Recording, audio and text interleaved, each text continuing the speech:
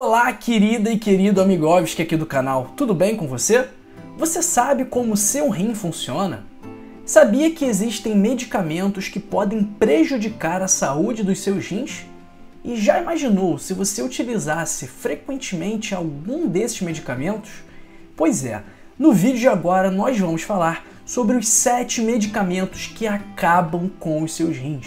E você precisa ficar até o final, você não pode sair porque eu deixei o pior, o mais perigoso por último. Então a gente fez aqui uma escadinha decrescente, na verdade, em ordem crescente de periculosidade para a saúde dos seus rins. Então é muito importante que você fique até o final.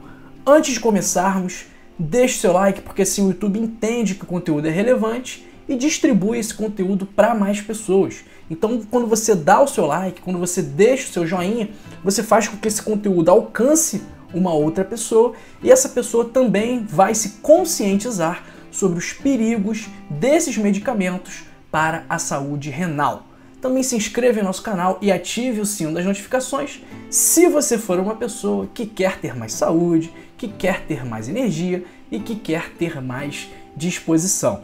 Esse é o canal perfeito se você quer esses três ativos mais fortes na sua vida. E também compartilhe esse vídeo, porque compartilhar saúde é um ato de amor. E me conta, você conhece alguém com problema renal? Tem alguma história com o assunto? Compartilhe sua história conosco e também me conta de que parte do Brasil ou do mundo você me assiste. Se você escrever aí, eu sou o fulano ou eu sou a fulana do lugar tal, eu vou te mandar um abraço aqui no próximo vídeo. Combinado? Pessoal, os nossos rins têm formato de feijão, estão localizados entre a nossa vértebra T12 e a nossa vértebra L3, aqui na nossa coluna lombar. É que você sabe, né? Quando você está com dor nos rins, você sabe exatamente onde eles estão localizados. Ele tem como função excretar produtos finais do metabolismo e também o excesso de água, além de controlar a nossa pressão, regular o equilíbrio ácido-base, regular a produção de eritrócitos e muito mais. Para você ter uma ideia, 20% do débito cardíaco, ou seja, 20% de todo o nosso sangue passa pelo rim por minuto. Eu falei aqui que regula a produção de eritrócitos. Eritrócitos são as nossas hemácias, as nossas células sanguíneas, porque o rim produz grande parte da eritropoetina, que é a substância responsável por estimular a produção de hemácias na nossa medula. Por esses motivos que eu falei aqui, você pode ver que é muito importante preservar a saúde do seu rim, porque a doença renal crônica ou a insuficiência renal crônica ela pode fazer com que a pessoa precise de diálise e também precise fazer transplante renal, que é algo que ninguém quer chegar nesse ponto. Diálise é um procedimento muito chato, muito incômodo, que piora muito a qualidade de vida do paciente. Então, no final do vídeo, eu também vou deixar sugestões para você sobre alimentos que são ruins para a sua saúde renal. E quais são os fatores de risco para a doença dos rins? Idade avançada, problemas renais crônicos como um cisto, algum problema, uma hidronefrose, enfim, problemas renais crônicos, doenças cardiovasculares, diabetes, não beber água, isso é muito perigoso para o rim. Canso de ver pacientes com aumento da creatinina, com aumento da ureia, ou seja, com piora da função renal, única e exclusivamente porque não bebe água. E além de não beber água, o uso de medicamentos também pode ser prejudicial para a saúde dos seus rins, e é exatamente sobre isso que a gente vai falar hoje. Por quê? Porque os medicamentos, eles precisam ser eliminados do corpo em algum momento. E aqueles medicamentos que são hidrossolúveis, que são solúveis em água, eles passam pelos rins. E é por isso, pessoal, que a automedicação é muito perigosa, porque se você não souber quais medicamentos fazem mal para os rins, você pode estar colocando a sua vida em risco. Mas então vamos lá para os medicamentos que detonam os rins. O sétimo medicamento, como eu falei, né, o primeiro medicamento é o mais pesado, o mais perigoso e que eu tenho certeza que você já usou ou que você usa frequentemente, principalmente se você é uma pessoa que sente muitas dores. Então preste atenção. Sétimo remédio são os antibióticos, que podem causar edema, inchaço do tecido renal e também podem causar inflamação dos túbulos renais, que a gente chama de nefrite intersticial.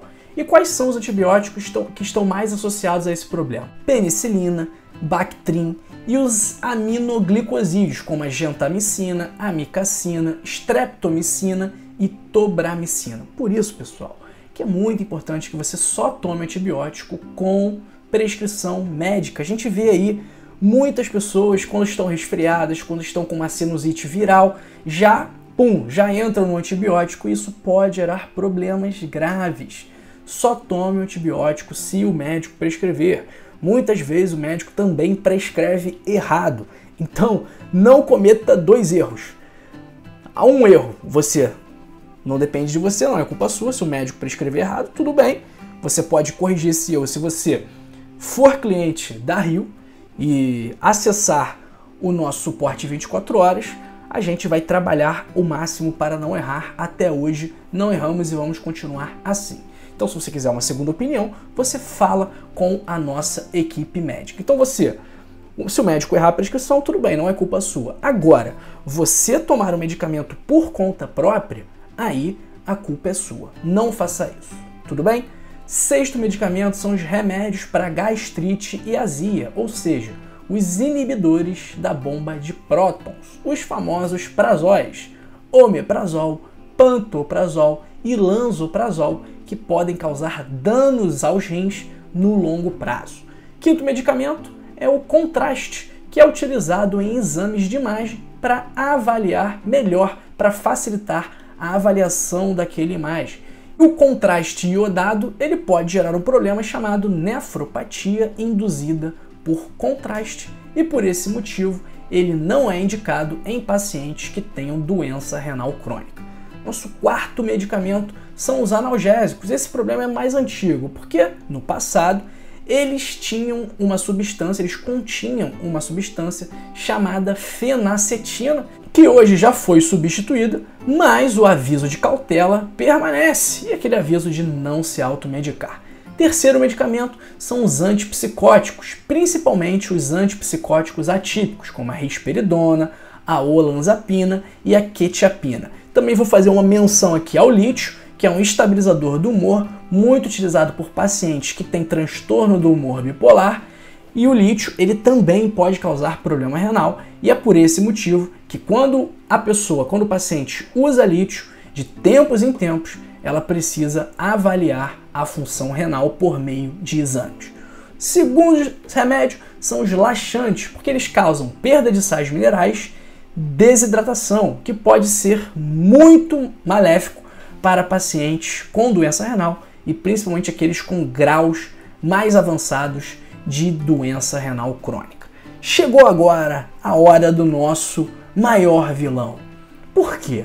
Porque esse vilão, eles bloqueiam a produção de prostaglandinas, que são substâncias que participam do processo da dor, da inflamação e da febre. E as prostaglandinas ajudam a manter o fluxo sanguíneo para o rim.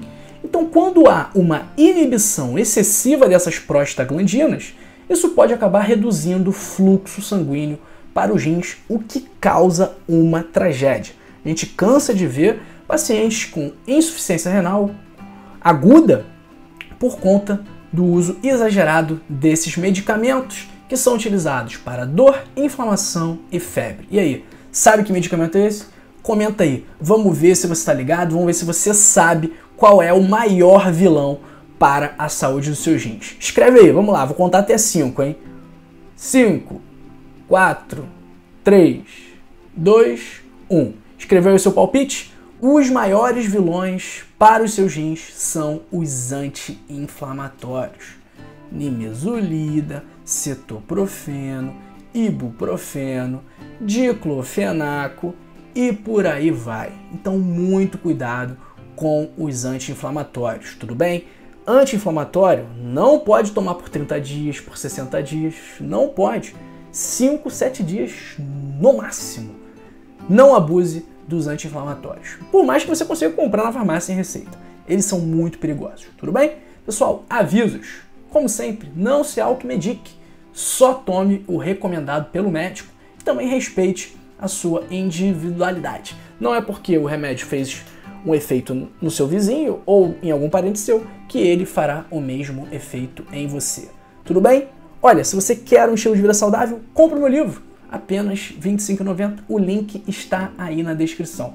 Se você quiser um acompanhamento multidisciplinar para ter a saúde que você sempre sonhou, venha para Rio. O primeiro mês é grátis. Depois apenas R$ 19,90. Também aí na descrição. Siga todas as minhas redes sociais. Os links também estão na descrição. E antes de você ir embora do canal, fica aqui com a gente. Esse vídeo aqui é sobre os piores alimentos para os seus rins que você não pode comer. E esse vídeo aqui é sobre os principais sinais e sintomas do câncer de pâncreas, um dos piores, um dos mais letais que existem. Muito obrigado pela sua atenção. Até a próxima. Fique aqui, fique bem, fique com a gente. Um grande abraço para você e para sua família.